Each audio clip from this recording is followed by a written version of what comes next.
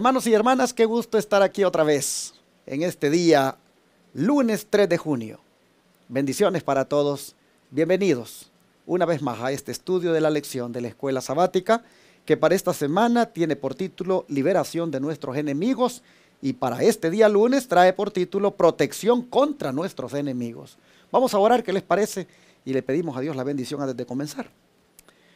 Amado Padre Celestial, agradecidos estamos otra vez contigo por la buena nueva de que la misericordia se renueva cada mañana y la hemos experimentado, Señor, al tener otra vez este privilegio de continuar viviendo. Señor, qué forma de agradecerte que buscando de ti en esta hora a través de la oración y el estudio de tu palabra. Así que pedimos para que nos dé sabiduría, entendimiento y esta palabra, Señor, no vuelva a ti vacía, que haga la obra que se requiere en nuestros corazones. Así, Señor, te rogamos esto y te lo pedimos en el nombre poderoso de Cristo Jesús. Amén. Protección contra nuestros enemigos, como dije, es el tema para este día. Y es que hay momentos cuando los enemigos, hermanos, nos abruman.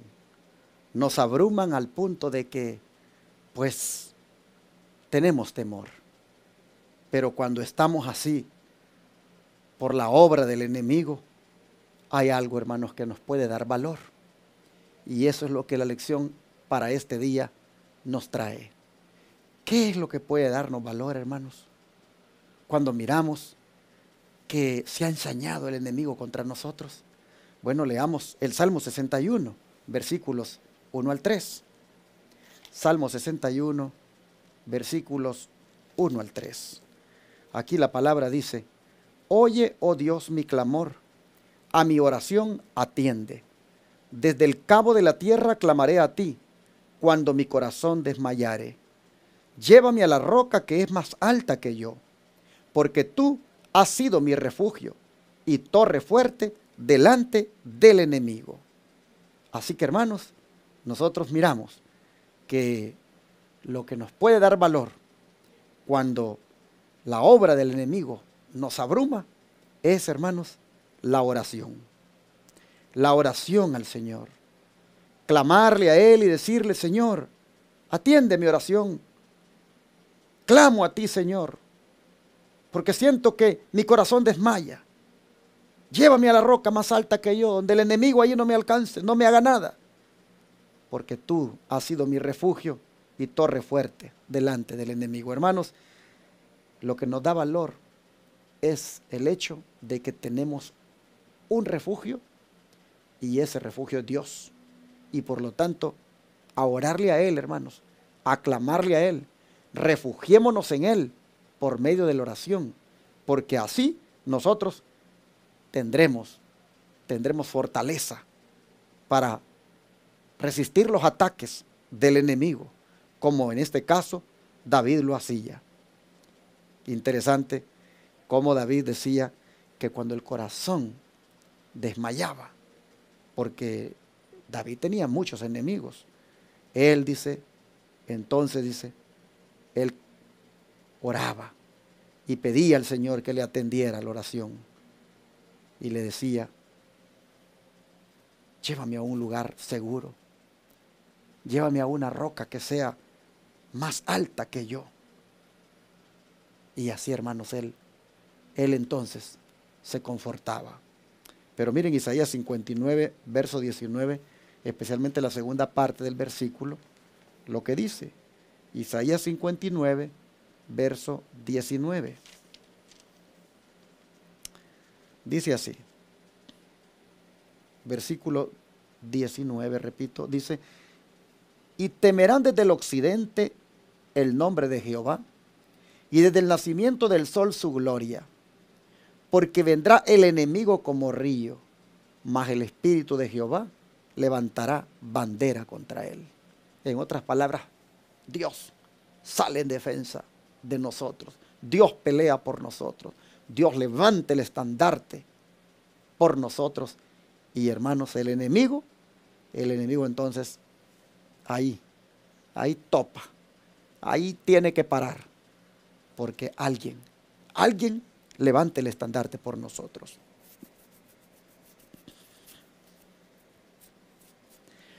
Ahí quitas esto, patio, ¿ok? Así que con una promesa como esta, hermanos, no queda más que agarrar fuerza. Agarrar fuerza, hermano, agarrar esperanza.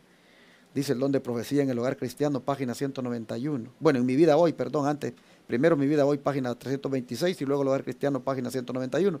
Dice, el enemigo no puede vencer al humilde alumno de Cristo, al que ora y anda en presencia del Señor. Cristo se interpone entre ambos como un escudo o refugio para desviar los ataques del malo. Mira qué bonito. Entre el enemigo y nosotros, allí se pone Cristo. ¿Pero cuándo? Cuando uno ora y anda en la presencia del Señor. Hermanos, no podemos nosotros vivir sin orar. Y no podemos vivir sin andar tomado de la mano del Señor. Si andamos así, mire lo que está asegurado. Entre el enemigo y nosotros, el Señor dice, se pone como un escudo. Donde los ataques del enemigo, ahí, ahí, hermanos, pegan y salen de regreso. Allí, dice el Señor, se convierte en el refugio. Los ataques del malo son desviados cuando andamos en oración y en la presencia de Él. Por eso es que hoy hay que ponernos en las manos de Dios antes de salir, hermanos. Y antes de pues ponernos a las diferentes actividades del día, busquemos de verdad de corazón al Señor y pidámosle que nos proteja, pidámosle que, que sea Él ese escudo. Sigue diciendo el don profético, no hay poder en todo el ejército satánico que pueda desarmar al alma que confía con sencilla fe en la sabiduría que desciende de Dios. Cristo es la torre de nuestra fortaleza y Satanás no tiene poder sobre el alma que anda con Dios con humildad de espíritu. En Cristo el alma tentada encuentra ayuda perfecta y completa. En Cristo, hermanos. Los peligros, dice, acecharán todos los senderos, pero todo el universo celestial se mantiene en actitud de alerta para no permitir que nadie sea tentado más de lo que puede soportar.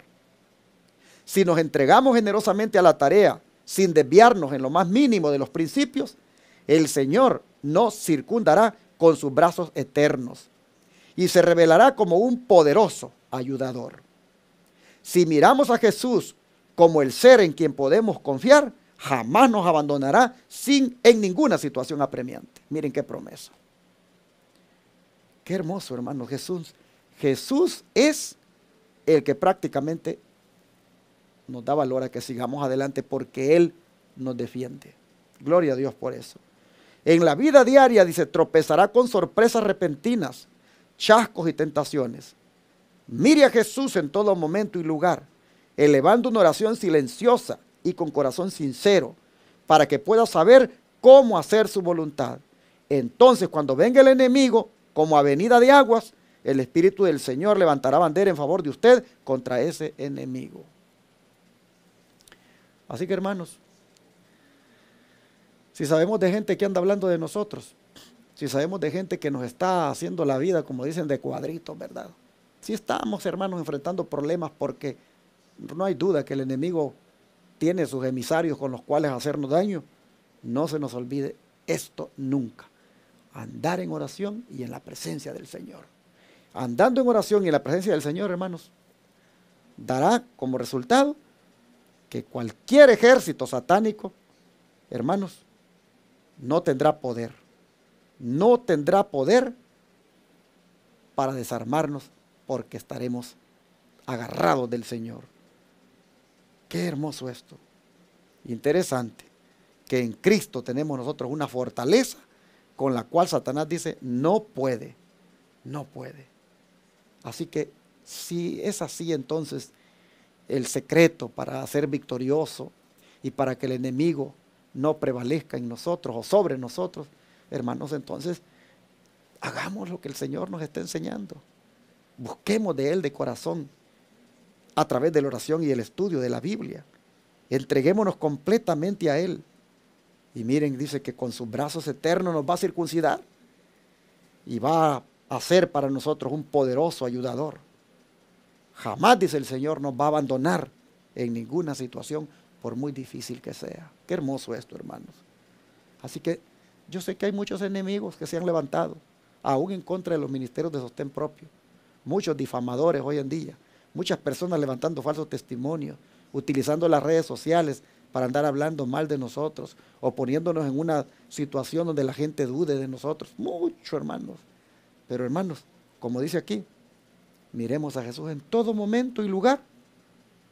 Y Él, hermanos, se va a encargar, se va a encargar de enfrentar por nosotros a esos enemigos.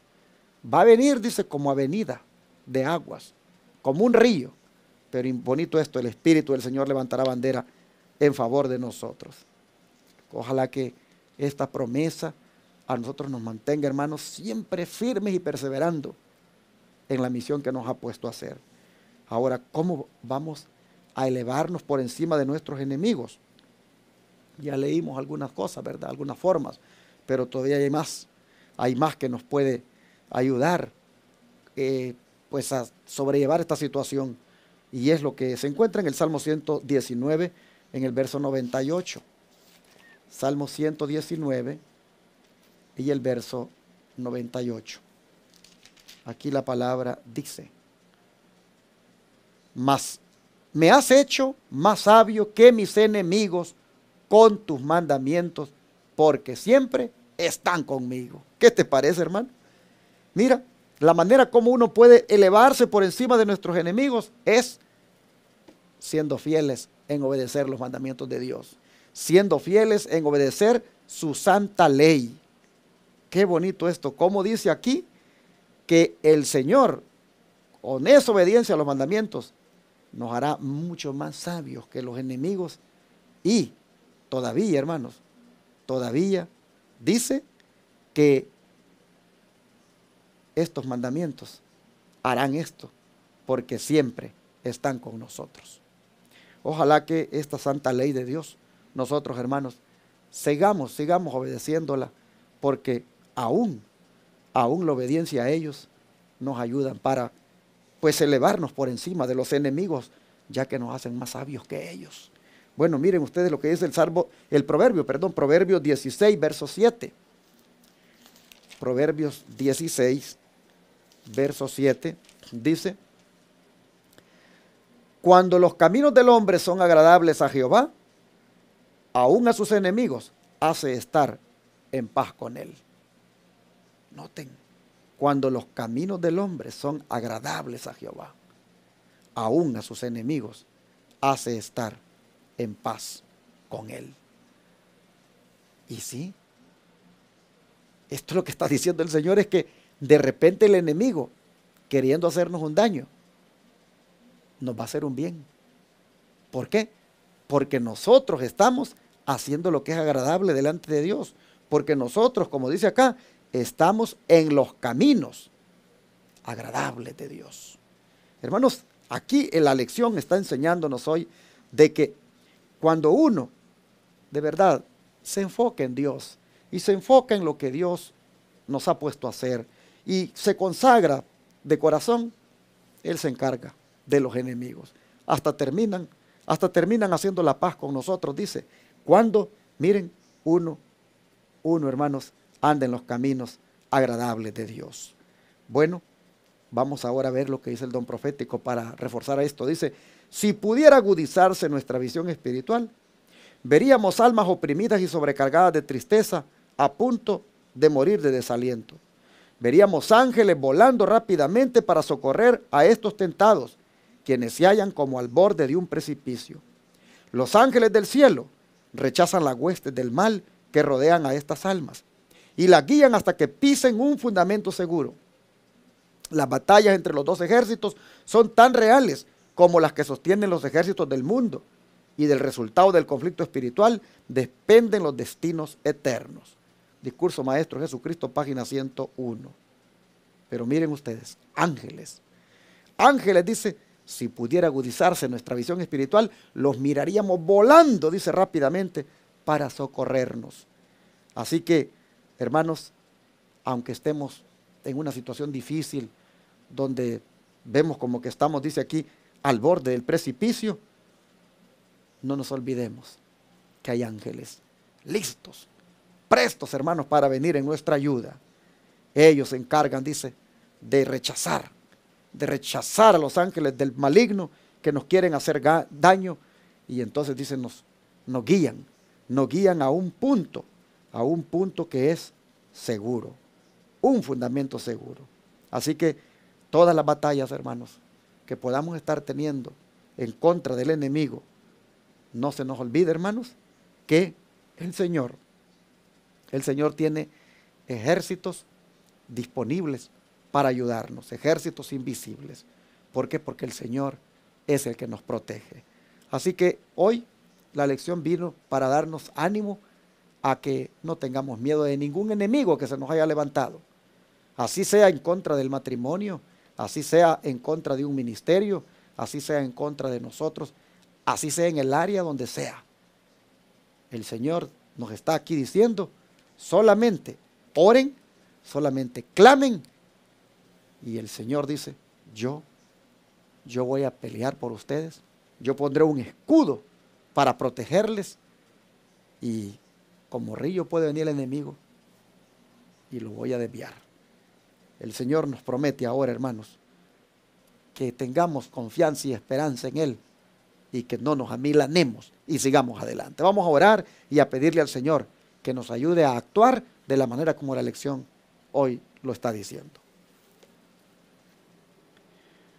Padre Celestial, agradecidos estamos, Señor, por esta grande protección que nos ofreces en esta mañana, por saber que nadie podrá contra nosotros, por saber, Señor, de que cualquier cosa que llegara a pasarnos sería porque tú la permites y porque tienes algún plan mejor para nosotros.